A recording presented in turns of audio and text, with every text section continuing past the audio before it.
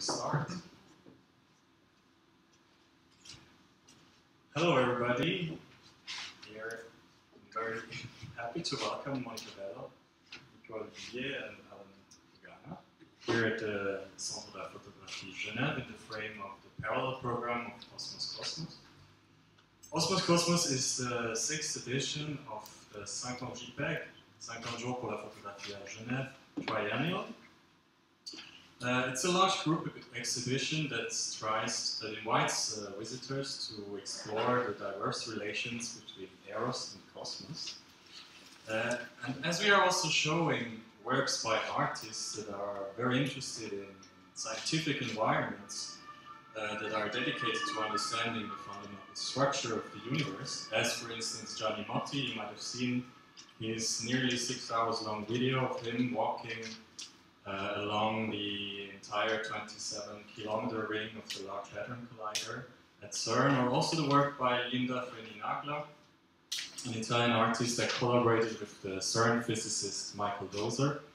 And they were trying to um, detect the annihilation of antimatter uh, with the help of photographic plates that they fabricated themselves.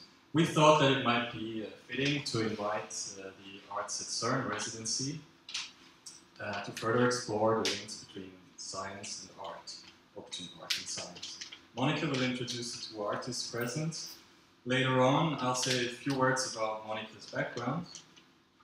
She initiated in 2007 and also ran the Laboral Centro de Arte in Gijón in Spain, and then worked as an artistic director of VIDA, the Arts and Artificial Life Awards of the Fundación Telefónica in. In 2015, she took over the position as curator and head of arts at CERN here in Geneva, and she curated many exhibitions. Um, Monica's interests revolve around the question of how scientific practices, for example in particle physics or also in astronomy, can become resources of artistic investigations. She likes to see these investigations as open processes, open to the participation of a plurality of actors, and also open regarding the outcome of artistic practices, including the tolerance of failure and unexpected results. I'm very looking, I'm very much looking forward to this discussion tonight called Fieldworks and presenting the, ex the exchange residency Simetría, especially because it will be facilitated by uh, such an experienced critic and curator at the intersection between art and science, or more precisely, uh, basic science CERN. So, join me in welcoming um, Nicole, Alan, and Monica. Thank you very much for being here.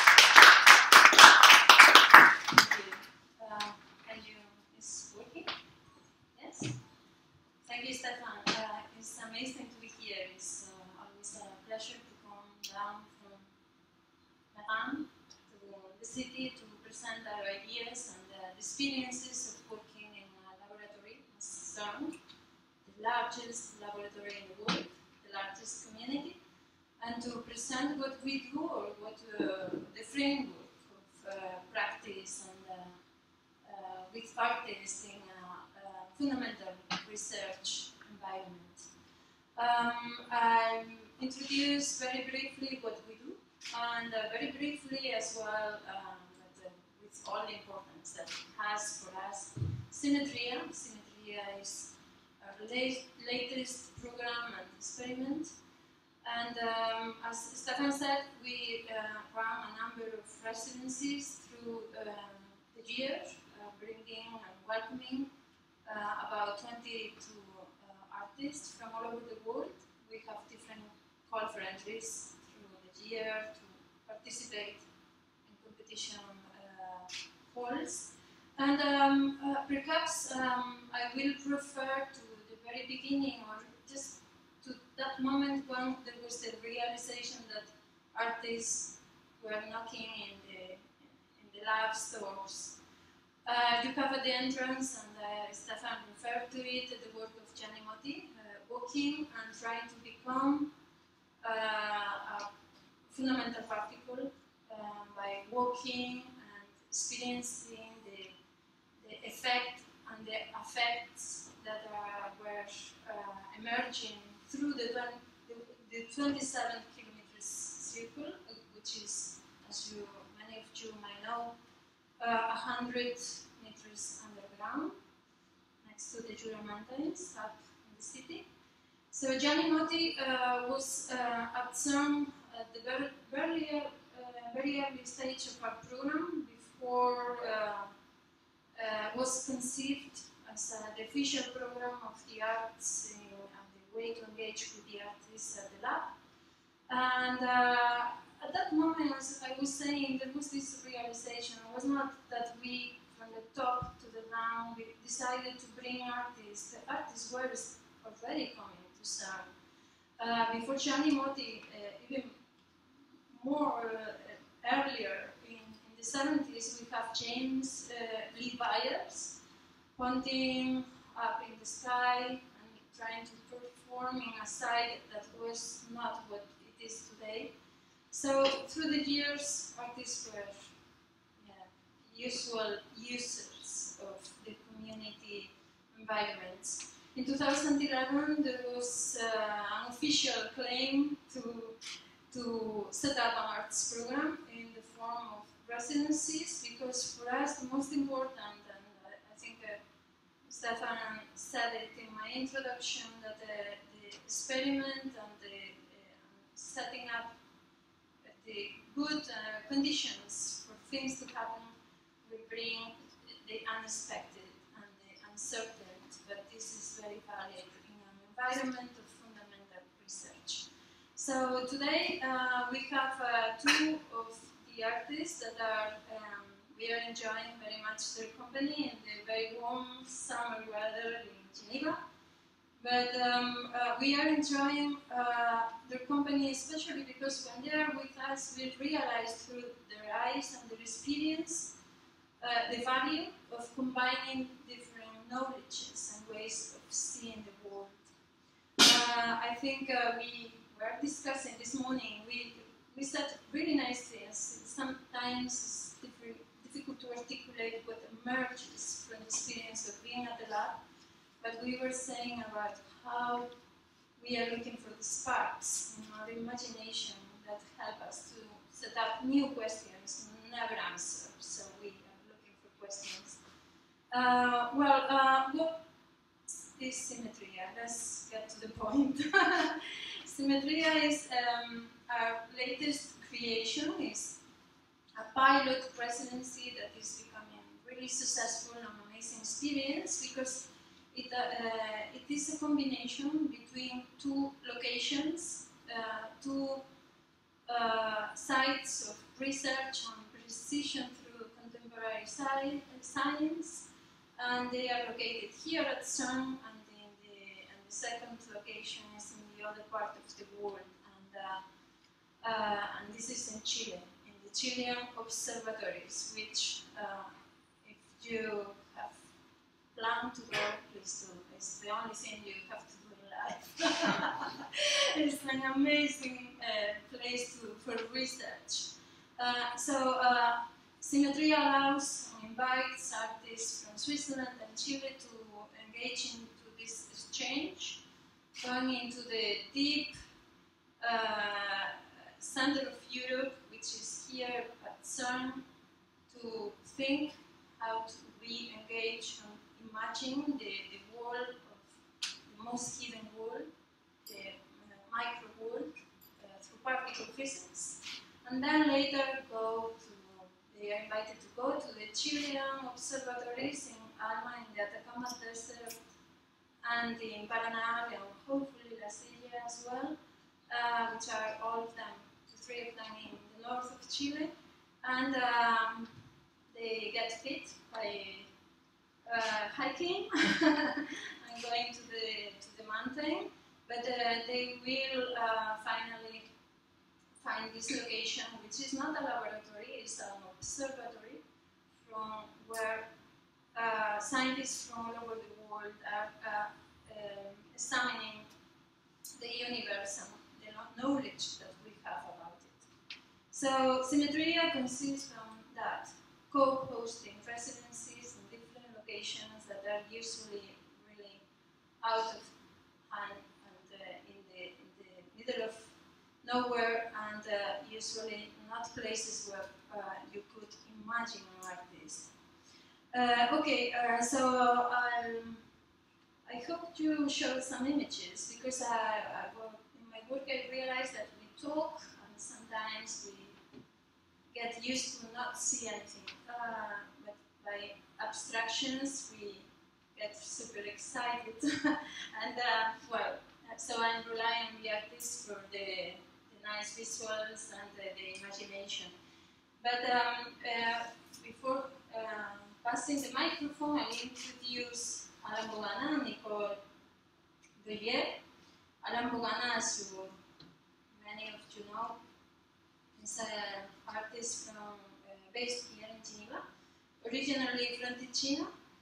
Um, he is totally obsessed about light, very into light and photons. and um, uh, uh, Alan works from the real to the speculative about the behavior and the dynamics of light and what is understanding. We, uh, he develops really amazing and poetic tools to work with this interaction between light and the other matter. And the notion of what um, you call uh, digital organics, right? So when uh, we invite Alan to, to CERN, uh, there was uh, this discussion about uh, looking at uh, dark matter, about the hidden things that uh, we are not interacting with, but we know is there, about measurement, about devices, devices and artifacts. Okay, so this is Alan. And uh, Nicole L'Huillier is uh, from Chile, uh, currently based in Boston in the MIT Media Lab. Uh, Nicole explores the intersection between art, music, architecture, science, and uh, technology. With all these tools, she's really uh, investigating the, the concept of performativity and the questions uh, about possible futures redefining how we perceive our environment and reality. So um, I'll pass the microphone to Alan and then later to Nicole and um, later, later we'll have time to, uh, for discussion and questions with you. Thank you for being here. I think, I, I think I'm gonna use. Do you hear me? Well, Yes. great. so I'm gonna load my.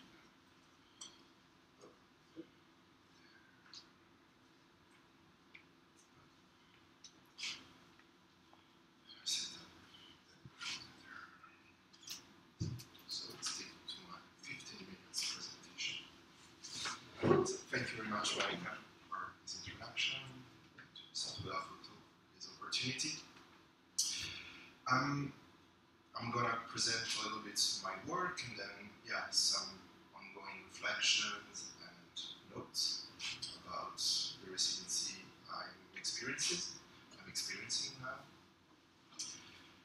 So, um, over the past 10 years, I've been making installations, uh, which have, where I've been like integrating sculptures, videos, and various forms of time-based media, as well as holography, holograms. I'm going to start to show you like uh, some excerpts uh, out of some a series of video works in which I've been um, exploring and visualizing basically some unlikely and let's say impossible phenomena to observe in reality, but that somehow computer graphics software from the entertainment industry uh, are able to visualize. Like for example, this from 2013 has been somehow the first of the series. And this sort of ghostly landscape um, are the light traces um, of what supposedly should be like a mountain made of diamond. And these are like sort of refractions generated by this mountain made of diamond. And this work has been inspired by like sort of a discovery that there's supposedly to be a planet somewhere uh, made entirely of diamond. And this is more like a, a digital hybrid than anything else. Shows some realistic behavior, but I don't know exactly what it is. And following this same logic, um, this other work from the following year, it's also like a video projection, um, you know, presented as more like a ghostly presence in an exhibition space. Where what you see, uh, it's also like a very short excerpt. Um, it's like a flag in the wind simulated, where the flag behaved uh, as if it was made before made of water, then turned into plastic, then into diamond, and so on. Basically, been animating the index of refraction. My idea was to see, observe how the folding of this textile would interact with the index of refraction, and it switched back and forth between like figuration and abstraction without having a real control on it. So it more like an experiment somehow. And similar logic, um, this video installation um, made with it's like, like a triple synced video installation, looks like a fire pit, where I've been wondering, uh, like a new age idea of what is a crystal fire, then let's visualize it. And simulating as if uh, um, with a dynamic volume would behave like quartz crystal. And this is the result, which is like this nervous effect that reminds water. So all these phenomena that have been seen are caustics, which is like the natural um, uh, condensing of light by some translucent body, like this water, body of water, because it create caustics. It's this uh, dancing patterns that you see at the bottom of swimming pools. And alongside um, these works with software, I've been also so creating sculptures where I've been manipulating uh, different type of translucent materials and using also different treatments. And I've been doing a series of this type of works that you see here. Um, these are made of acrylic glass, which underwent two specific treatments, two specific aggressive treatments. Basically, um, so at the beginning the block was a block, and the first treatment basically it has been the block has been electrified so that uh, even plexiglass become conductive electricity at a certain moment, there is a, like a discharge lightning um, converging, and you see these fine roots in these blocks. This fine rooting, uh, it's the silhouette, the three-dimensional silhouette of a lightning, of a discharge lightning, converging toward one point. And then, second treatment, um, I asked somebody to shoot uh, on the discharge point. And my interest was to see how this way of attacking matter would interact together to create um, these sort of organic objects which reminds minerals as well as mountains, knowing that mountains and minerals are not necessarily made that way. And I was like, building somehow correlation between the digital and the analogical. In 2015, I started um, exploring the medium of all, the obsolete medium of holography, I would say. So really the whole um, technique with chemicals and lasers and optics.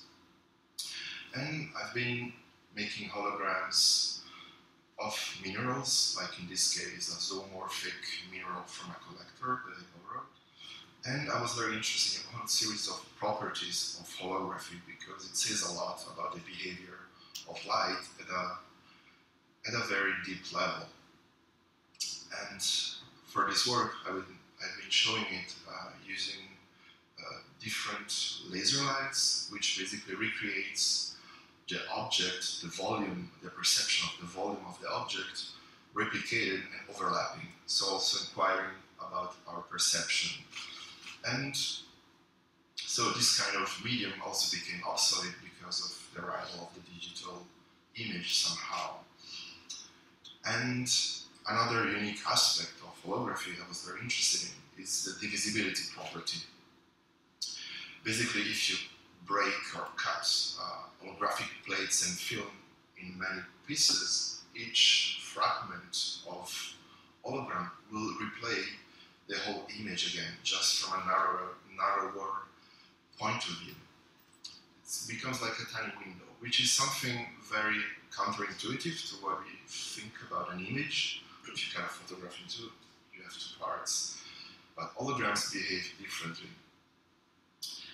And so I've been also making holograms of very basic models, can be like, let you say, uh, the idea of a model uh, of a chemical of a chemical structure represented by a, a ball and a stick.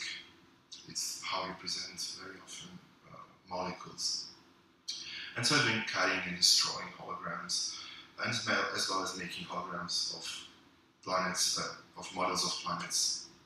So playing with scales and putting connection micro and macro mediated somehow by this medium.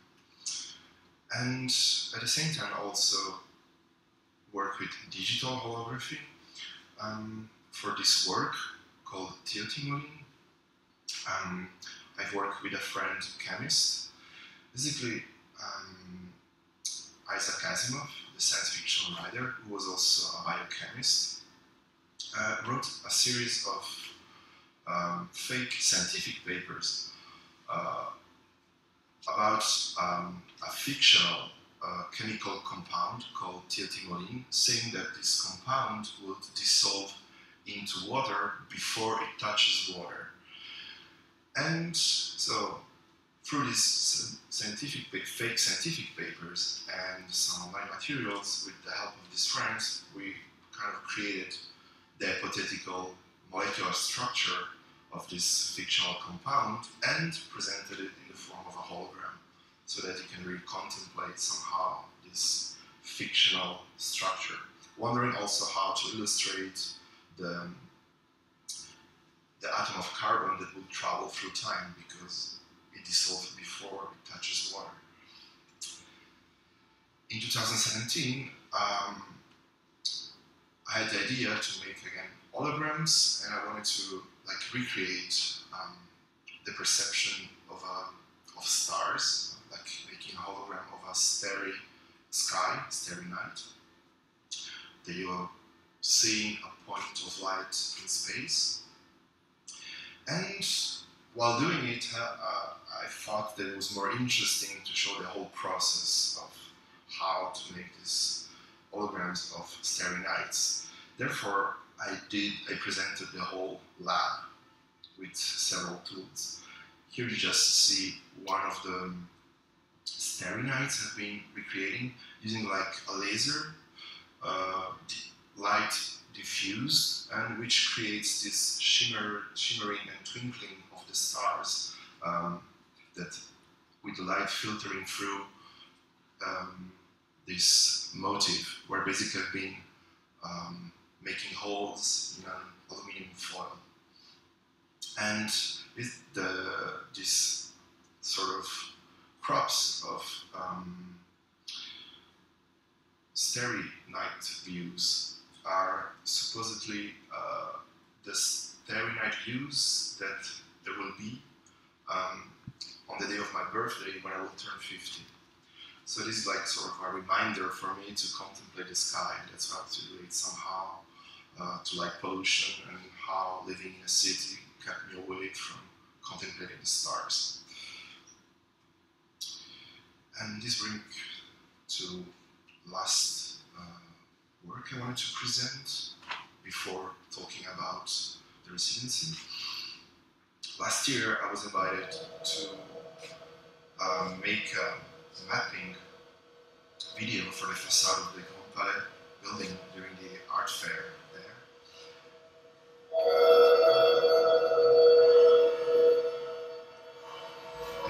I had the idea to use technical computer fluid dynamics software to reinterpret um, somehow the facade of this Art Nouveau building, in which um, the architectural structure of the building becomes like a sort of a constraint through which illusory fluid would flow through, and with with vortices uh, somehow randomly arising here and there, and misusing somehow this very software for mapping purposes, and also building a bridge with psychedelics in, in some to some extent.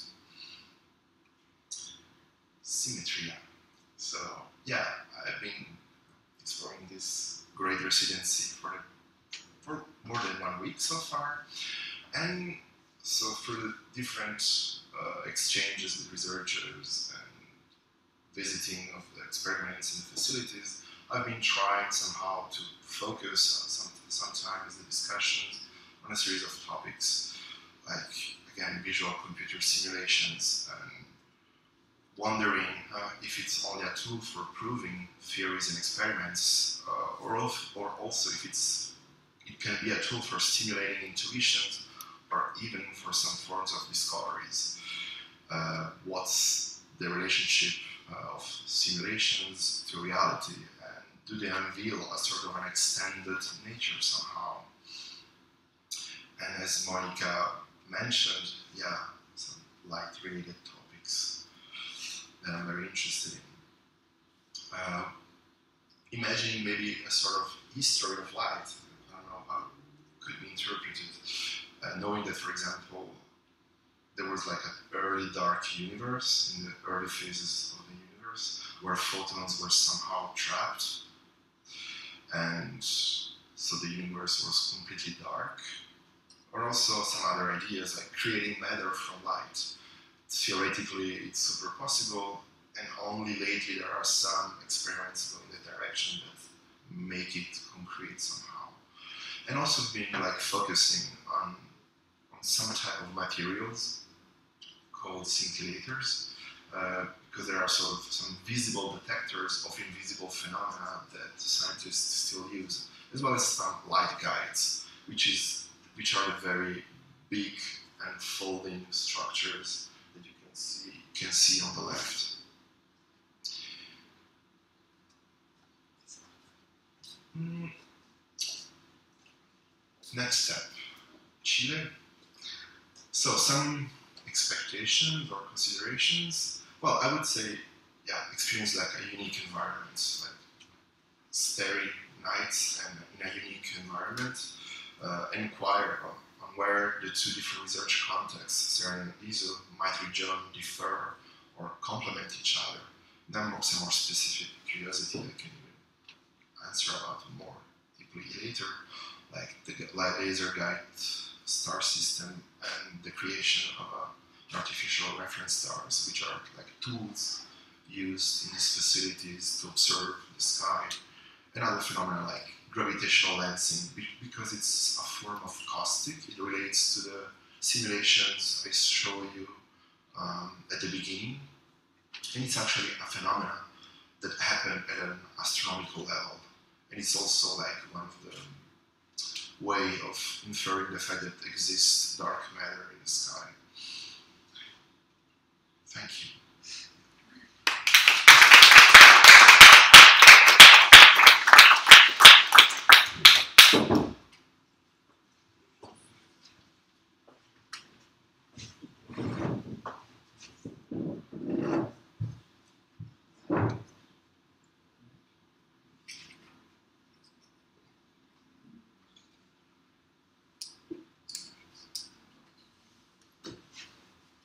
Hello, everybody. Uh, for being, here. Um, it's a great honor to be here. And really, this residency it's, it's like a dream come true. It's really amazing. Um, I'm Nicole, uh, and as, as Monica said, I'm from Chile, and now I'm based in Boston while I'm doing a PhD. Um, and I'm going to talk to you a little bit about my work and my process during this residency.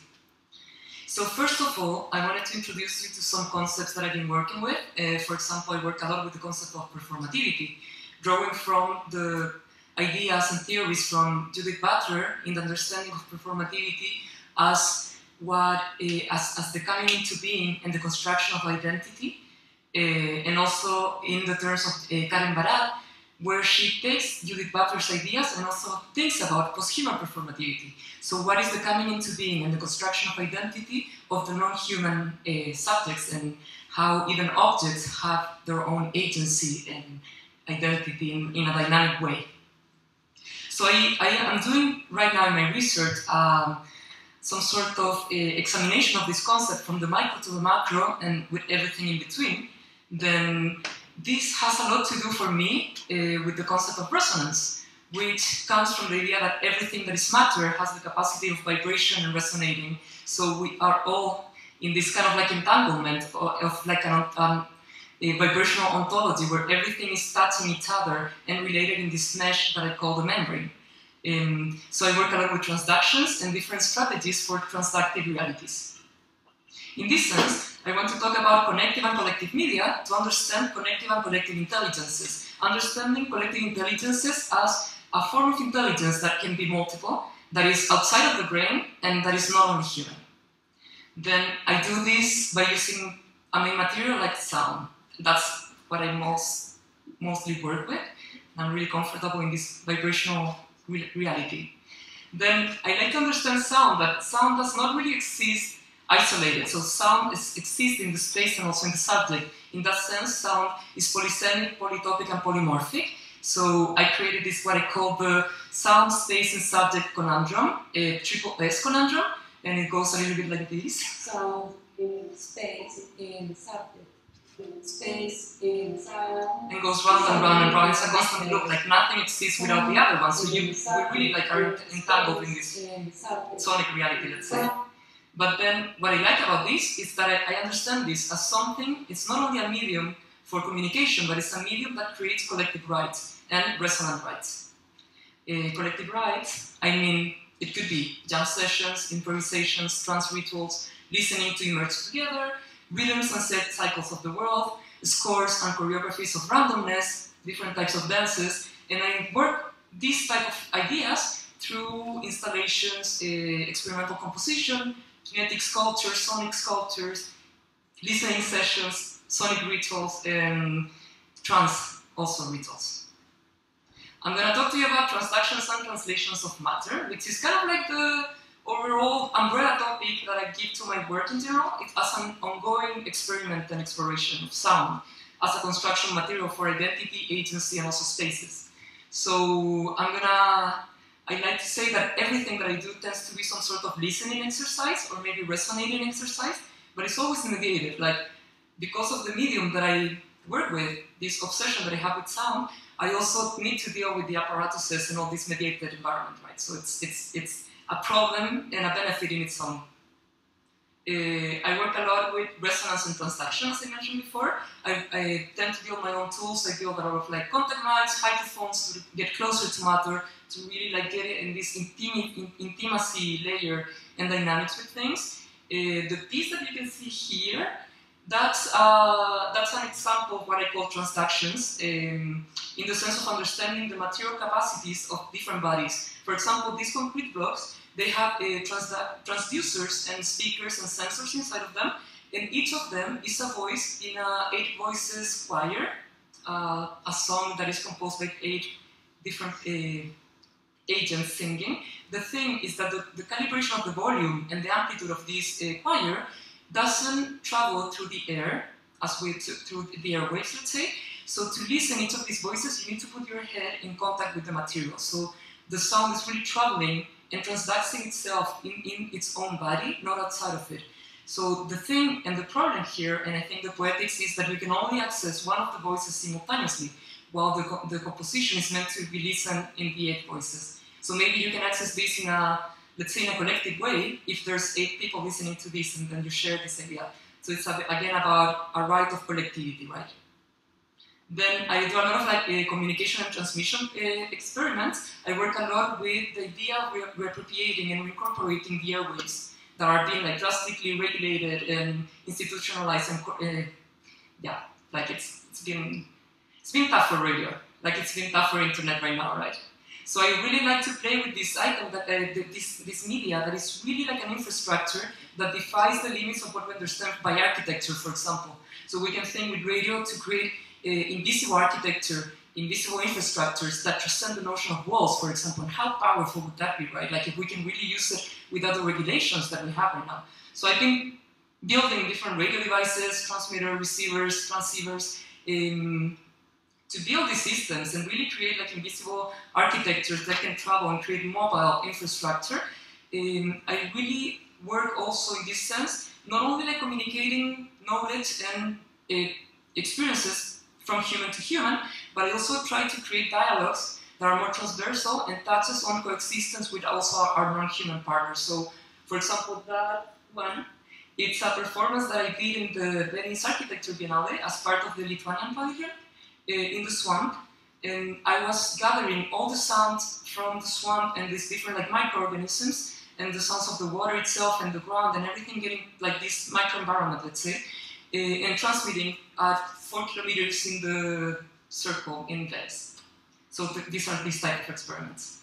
Then I do a lot of like uh, what I call telemetry and expression experiments. These ones are mostly to understand the different sensors and ways of interacting with matter, uh, organic and non-organic, in different media. For example, I've been doing a lot of experiments in microgravity, creating different uh, musical instruments in microgravity, and understanding what would happen when it, the instrument itself has the capacity to perform itself, and then the human body gets in a kind of like parallel level with, with this other body, and both are agents that that like let's say the instrument is not there to please us or to serve us, but we're there to have this dance and choreography together so we can emerge together.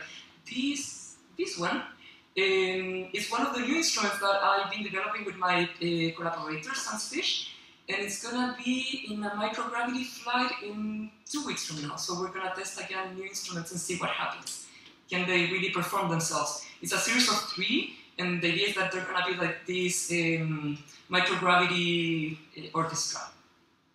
Then, what happens with the, the idea of sound to create identities and agency in the sense that we can create new imaginaries to build the new normals. So, sound, because it's detached from the visual, it really opens up a new layer, I mean, I think a more profound layer of uh, materiality uh, and the idea that you can really project futures.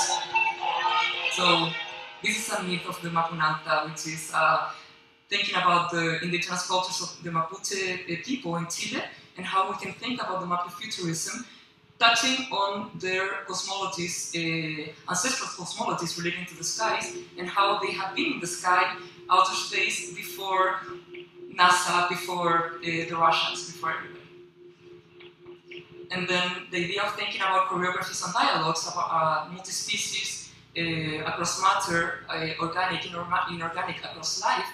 Uh, so I've been working also closely to some microorganisms and extremophiles. In this case, you can see like a little tardigrade or water bear, uh, with whom I share my desk in MIT, uh, and with whom I'm trying to communicate through vibrations. Uh, I really like the tardigrade in the sense that I started, I started working with them when I understood and knew that they were already an invasive species in outer space. So what does that mean? That they're also populating this place that we think is like empty, nothing is empty at all, right? Anyway, so an invitation to touch with sound, perceiving with vibrations, and to resonate and transtat. As I mentioned before, the concept of the membrane is central to my work. Uh, I want to say about this that for me the membrane is what synthesizes everything, this understanding of this vibrational reality, that everything resonates uh, in the sense that we can really create a bridge between the material and the material world through sound, where you can detach the sense from the, the, the imposition of the visual and create like this kind of like really strong imaginaries through sound, and where in the membrane we're all, wanted or not, entangled in this ex- uh, constant exchange of relationships. Then, in this thinking, I created this device that is called El Poema de la Fábrica Cósmica.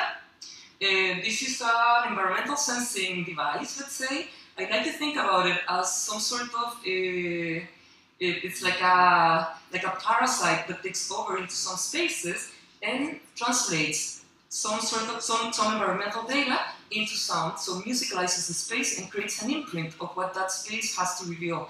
What are the agents that are constantly there for us, interacting with us, but we don't really pay attention to them. So it's kind of like a device that helps us in this sort of like ritual of listening. Uh, it's a parasitic shamanic medium that is helping us connect with these other invisible and silenced voices. So I brought this one um, here to, to CERN to start the, the experimentations in uh, these very like uh, like extreme environments and, and highly uh, how, how can we, like highly apparatuses in the earth. So in Simetría, the residency, we're working in CERN and ALMA, from the micro to the macro, and then I'm installing the Poema de la Fábrica Cósmica in both places. And my, what I want to see is what happens with the voices of these places in these very high-tech environments that are deeply, deeply rooted in nature. It's like we're basically places where nature and culture, or technology and Earth really collide. So this is a little like experimentation that I did with this device at the ALICE experiment. Uh, the ALICE experiment is the main experiment where they see uh, and observe uh, the gluon plasma phenomena. And let, let's listen for one minute, please.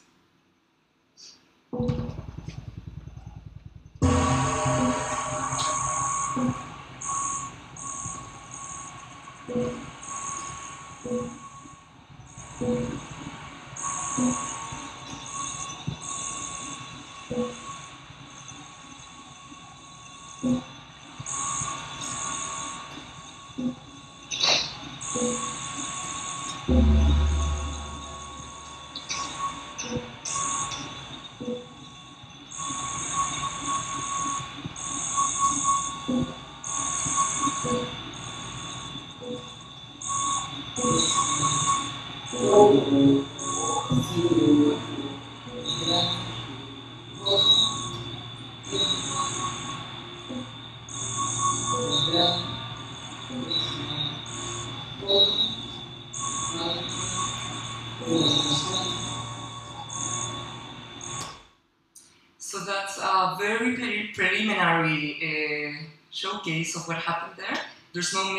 it's like just like a rough cut of the first parts of the poem. Um, this is a poem, I forgot to mention that, because not only we're uh, sonifying the sensor data in real time, but also through my experience in CERN these days, I've been gathering like some key concepts and words and notions of. Uh, so I, I, got, I made a list of words, and what it's doing also this is converting some of these words, uh, depending on the environmental conditions, is bringing up some of these words. Uh, so this automatic poem is being generated. That, that's the poem of the La Fábrica Cósmica. We'll see how different is going to be the poem when it goes to Alma, right? And uh. So other things that I've been like super inspired in this uh, short stay at CERN. I mean, it's not that short, but it's been like really fast. Uh, I've been really, really inspired about conversations with different scientists. And in one conversation with a cosmologist, we talked about the cosmic microwave background, which is it's fascinating. So it has to do with these primordial sound waves. Um, I'm just starting to get to know familiar with this notion. So forgive me if I'm, if I'm not completely accurate with the physics, but the primordial sound waves are actual sound waves that emerge when in everything in the universe, like right right after the Big Bang, when we were uh, everything was uh, a, a, hot mix of like plasma, uh, it started to ripple in itself this matter. So we know that in, in, in, in outer space in the universe, in the vacuum, some waves do not travel. But in this case, because of the collisions and the ripples of this material with itself, there were eh, some sound waves traveling in the material itself which is fascinating. So this is the first time sound waves existed at all, and they created, because of this ripple and oscillations, they created an imprint in, in, in matter and light that we can understand now and really understand. This is key for understanding the, our origins, basically. So it's really exciting. And for me, it's amazing that this is the origins of also sound waves. Then, but it's also like a bit an ongoing question, right? I'm thinking this relates a lot to the membrane, to this concept that I'm working with, how everything is entangled. So I think it's, it's like this quark gluon plasma it's our quark gluon plasma times the origins of like our membranical thinking. Is it like, do we have this membrane in, in, encoded in our history because of this moment that is basically part of like very first seconds of our origins in the universe? So I think it's fascinating. And I also think it's like no, it's not like a real. I mean, might be a coincidence, but I think there's something going on. That the first time that the El Poema de la Fábrica Cósmica was performed and explored was in the Alice experiments, where they are actually re- doing the research of the quark gluon plasma. This was not planned; it kind of like happened. So I don't know. I think it's pretty cool. Gracias.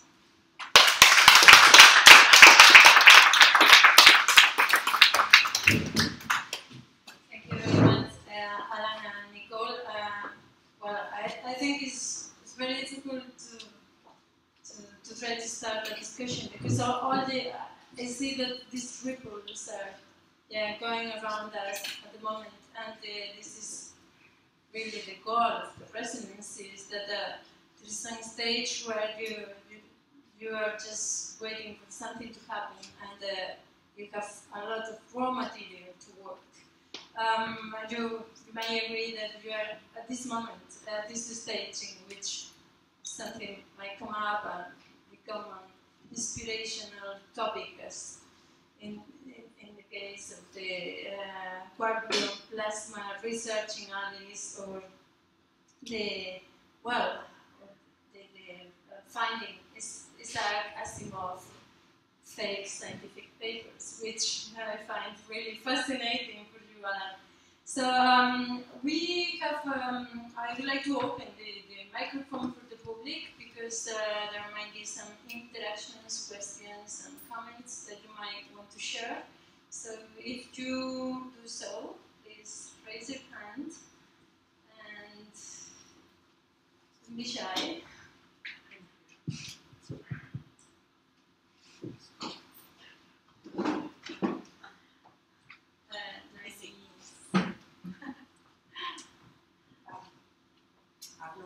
Out of curiosity because I see, I understood from one side that uh, there is some kind of investigation in sound related, and on the other side, I see a kind of investigation light orographic related. Uh, I know that was one of the characteristics that uh, made the two of you be together, or is it a total casual situation, or I don't know, I just see a relation there, I don't know how. So what do you think about that?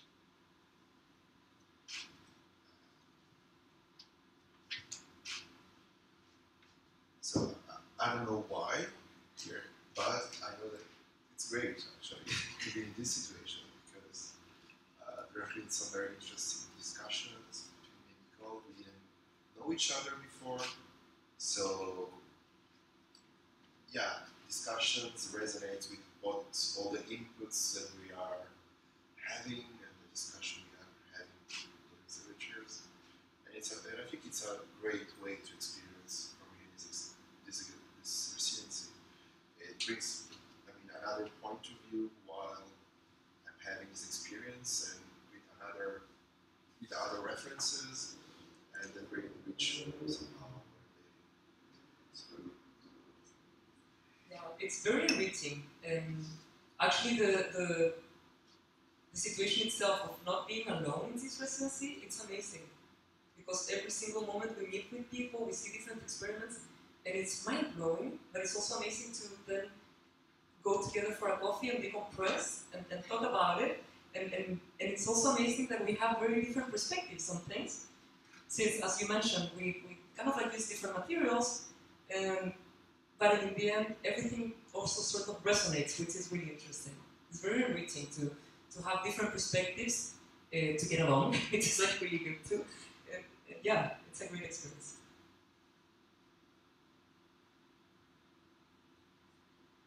Right. Can I uh, add to that? Um, I think uh, one of the very powerful and potentials of uh, program is to, to, to invite artists, and uh, many artists like that these days, who actually devise and create their own artifacts. And, uh, and this is especially enriching, as you say, when uh, you come to an environment in which uh, scientists and engineers do that all the time, uh, and even staff members do that as well. So we do everything. We are a very DIY community. Uh, do it yourself, but also do it with others. And I, I think uh, you understand that when you come from this uh, yeah, crafting and uh, getting you know, to learn things and, uh, and, not being um, scared to use electronics or coding. Uh, and I, think in both of your cases is this. So um, I'm talking about CERN, obviously. We are thousands of people and a very large experiment and location in the center of Europe. But you will not find that in Alma or Paranal. Maybe more in Paranal, but in Alma the community is uh, much more smaller and uh, you will see people doing amazing stuff, but the, the, there is an inverse, uh, I would say, uh, situation there. So um, what do you expect from that? It's not easy to go 5,000 meters high in the Atacama Desert and to try to devise or to control the sensors as you were in Ali is really hectic, moving around because you will be very dizzy, there will be a time to go. So how do you expect to manage situations and to, to, to find this resonation, resonating words in, in these remote locations? So, a little bit, uh, I think what's fascinating about this residency is the, the, the contrast between both places, right? Not only the scale, but as you say, the way they work, um, the environmental constraints and conditions, and uh, specifically for this, the, that, that uh, the sonic parasite, like for example, in that video that was very playful, I was managing it and like performing a little bit with it. But the, the main idea of the poem is that it, it's by itself, so it's really revealing what's happening there. So in Alma, where it will be barely moving because of the extreme conditions of the altitude, uh, I'm, I'm hoping that it works by itself, since we won't be able to like interact much. But I'm also hoping that, I mean, I'm not hoping, I hope it really works. But if it doesn't work, it's also part of it. And I think it's part of the of this whole experimentation, of, which is things that we've been talking a lot in, in CERN with the scientists, uh, to be open for failure. I think it's super important in the type of work that we're doing.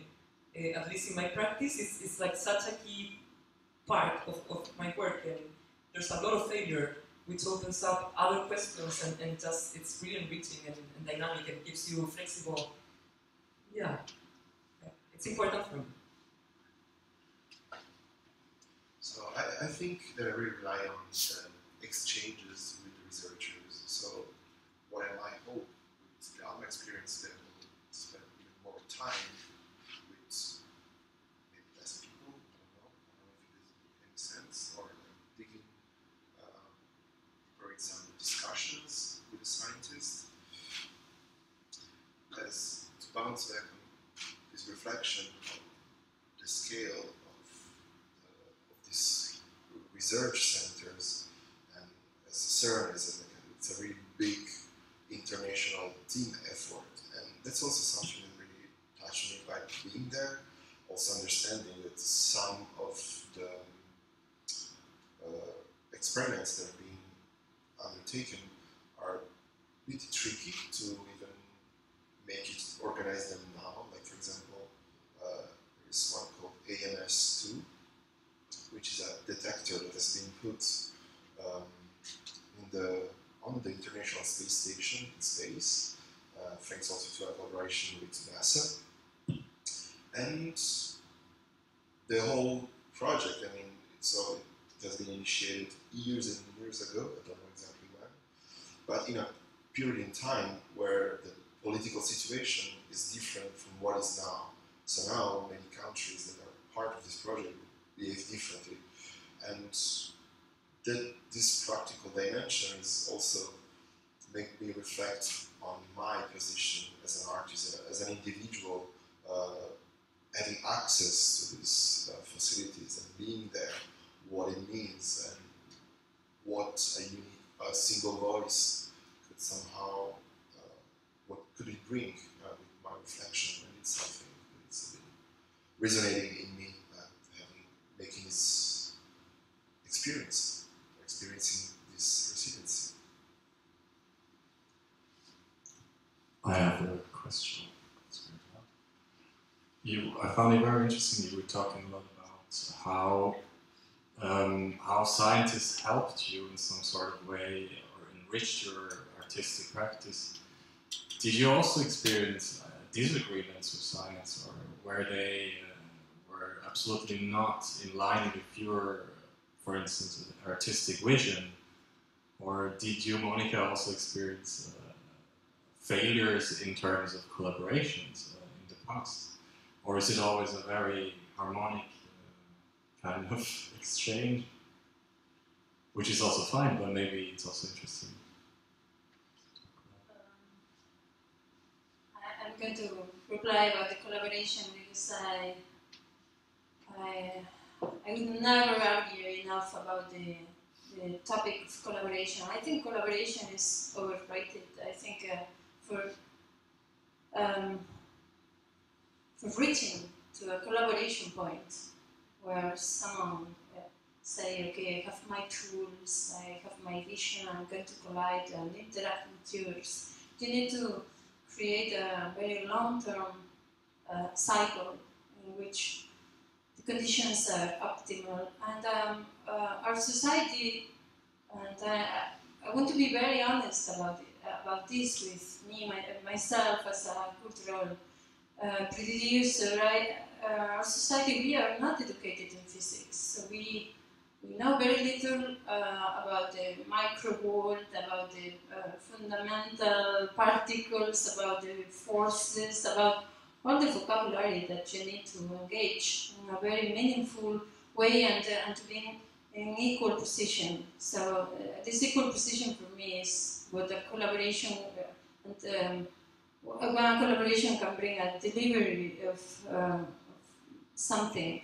But um, uh, we are in a pre, pre stage of a collaborations. So we are in the dialogue, in the engagement, in the raw uh, and uh, not um, product oriented or well, delivery oriented uh, uh, stage. Uh, we are just seeing something that is um, also stressing the fact that we as citizens uh, could become more uh, um, educated and uh, more engaged in a, significant way with physics and fundamental science. So I don't expect artists and scientists to collaborate, but just affect each other, uh, resonating ideas that are purely human. So the why, why is this in this way? Why do we see through glass? Why do we see color? What is light? These kind of basic questions are not only uh, um, uh, scientific uh, approach. It's something that any of us could might think. It's not only science. So yeah, this is a very interesting question, and I like to. I always come back to the why we do this uh, is that collaboration? No, it's not. Um, yeah, it's a tricky, it's a tricky thing. I think it's super important, interesting and important. I, I, I would say like my formation is pretty much being a musician as a kid and playing drums with my brothers and I don't know, having really bad punk bands with friends. so I kind of like in that sense, I think that really shaped the way that I work, and even today, that it's kind of like very collaborative. And of course, not all collaborations work out for different factors. Sometimes it's the people, sometimes it's the ideas, sometimes it's the material, sometimes it's the resources. It's very complex, right?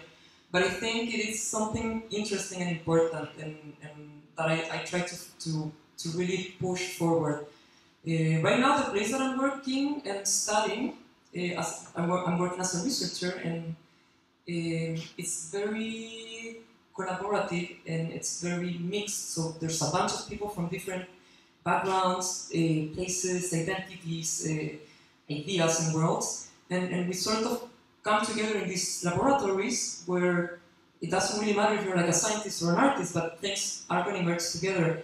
And the most different voices that you have in this group, the, the as diverse the, the, the, the perspectives are, uh, really you can see how they enrich the conversations on really hardcore science or, or, or really like these are like the two extremes in the place that I work uh, that it's under the umbrella of media arts and sciences. So it's like you have in one side uh, really hard sciences and the other side uh, art.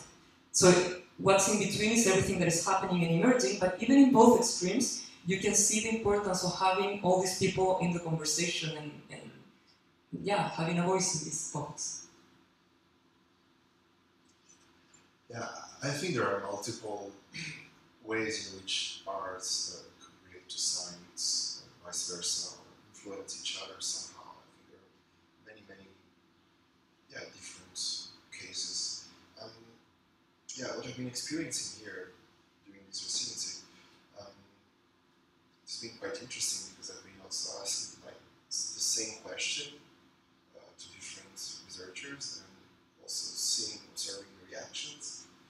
Um, that could be also dece- deceiving or exciting or just simply changing the way I perceive things and even reanalyzing my work from a different perspective or yeah, questioning uh, also what I've been doing from yeah, from which perspective I'm, I'm analyzing things. And yeah, this, now for sure it's not at the collaboration at the collaboration level. It's more like uh, exploratory tourist level somehow. Even though um, I've been like asking questions like a child, and it's like a great privilege somehow to be in that situation the same time engage in a discussion. It's not just a monologue, but really a ping pong somehow things and making sense of reality somehow by its own means. And yeah, Yeah, I to add that I think that really these type of residencies or opportunities to put these different perspectives in, in conversation in dialogue are fundamental for not only for us as artists. Like I had a conversation one day with a friend and she was like, "Oh, it's amazing for you guys as an artist to go and, and talk to the scientists and play to the science for a little bit." And it's like, "Wow, how can you say that?" Like it's like it's not about that. Like I think when we understand things as polarized as that, that's the problem. And we should try to build a, like really, really systems that are more in dialogue and less fragmented.